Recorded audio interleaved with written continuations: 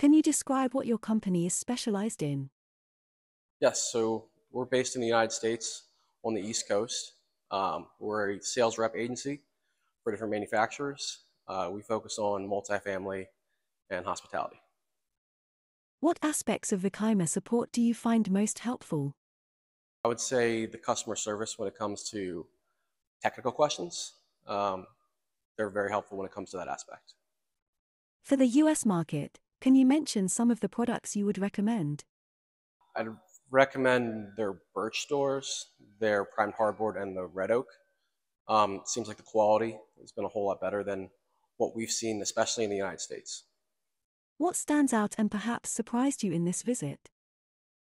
I was very surprised about the automation here.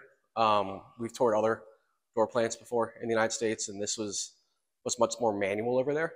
Whereas here, it's much more automated, which makes it a whole lot faster from the manufacturing standpoint. A key feature to describe Vicaima. I would say uh, top-notch quality. Um, every sample we've seen has been far better than what we use in the United States.